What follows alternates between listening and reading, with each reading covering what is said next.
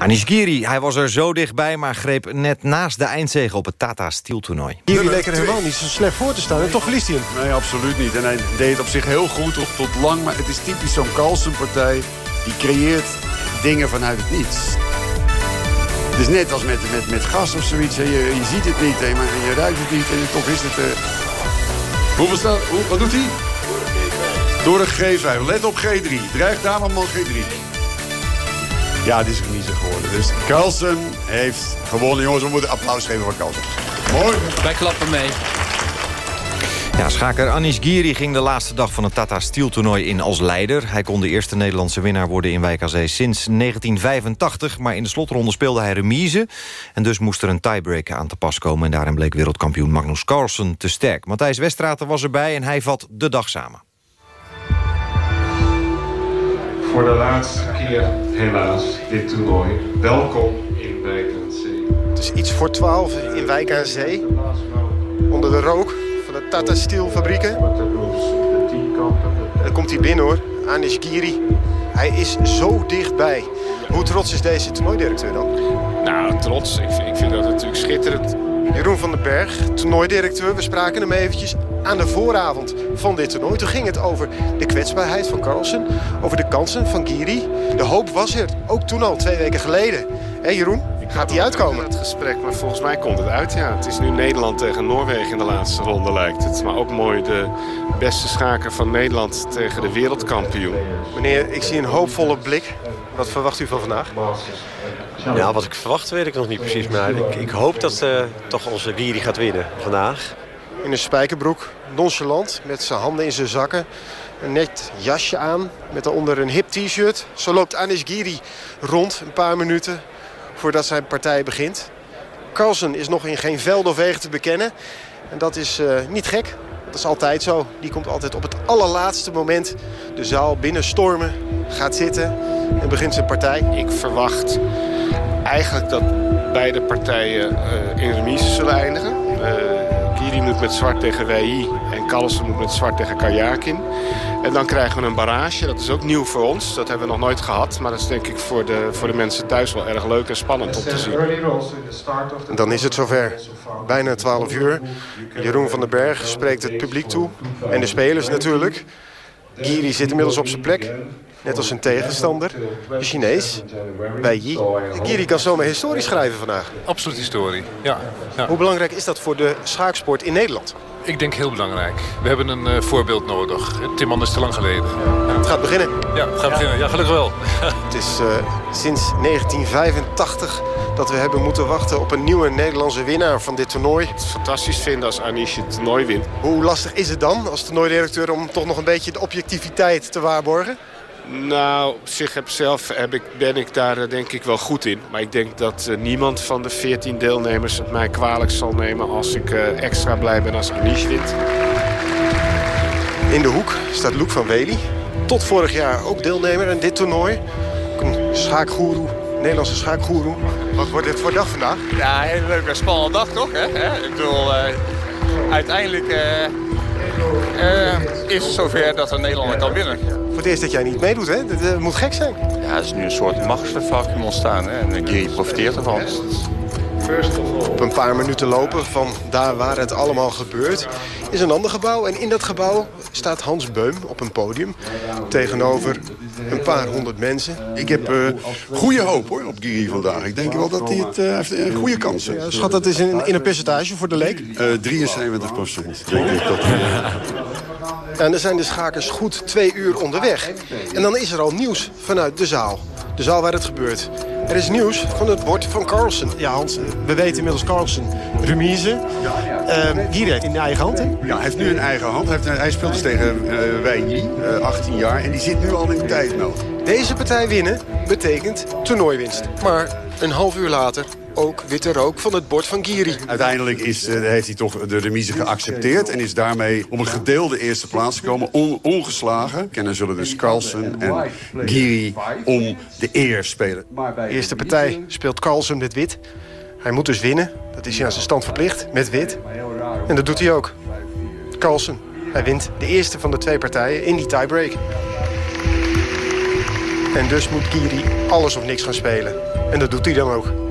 Ah, ik denk dat het remise geworden is. Dat hij nu... Ja, het is remise geworden. Dus Carlsen heeft gewonnen. Jongens, we moeten applaus geven voor Carlsen. Mooi. Wij klappen mee. Anish, wat een ongelooflijk knappe prestatie, dat ten eerste. Maar ik heb me voorstellen dat je hier met een dubbel gevoel staat. Ja, zeker. Nee, ik heb uh, deze start zelf vroeger een paar keer gehad. Uh, maar niet hier? Nee, niet in Wijk Je speelt een prima toernooi, gedeeld eerste.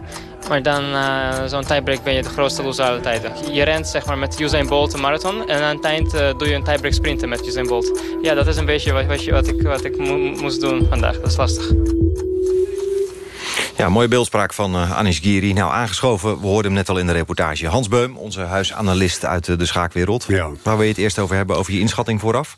Uh, nou, nee hoor. Gewoon over de euforie toch. Want kijk, we moeten... De, je moet het een beetje zien. Die, ze, hij, Giri heeft gewoon het toernooi gewonnen. Samen met Carlsen. Zo, ja.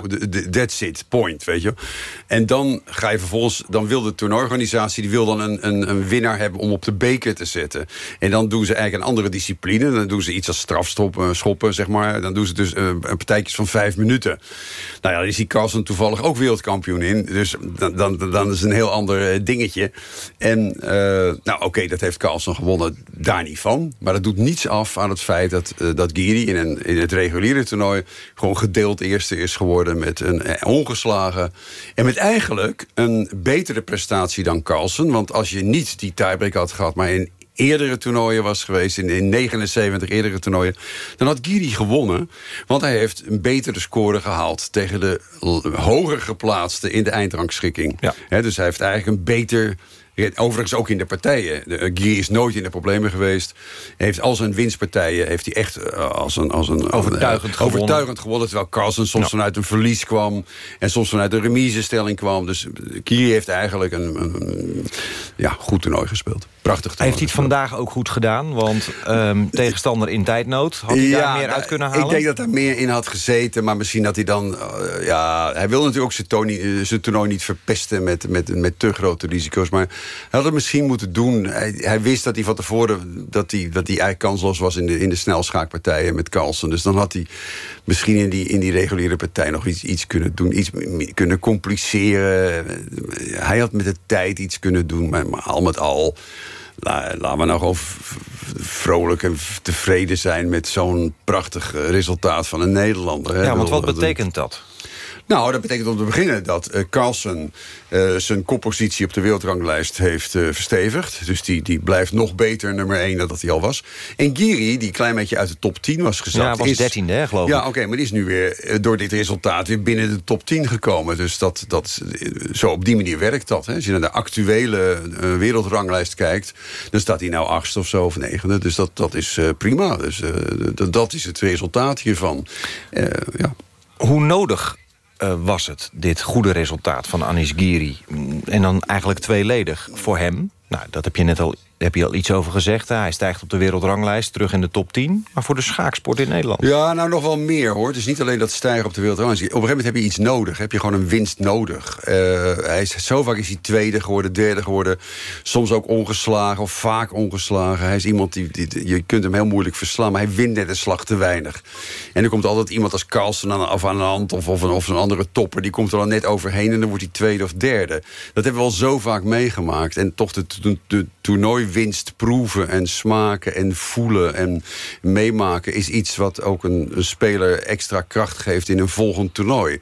Dus er zit is meer... dat het laatste mentale stapje dat je, ja, dat je moet maken? Ja, Winnen zo, moet je leren? Ja, precies. En dat, dat scheidt hem ook exact van zeg maar, de, van een WK-tweekamp.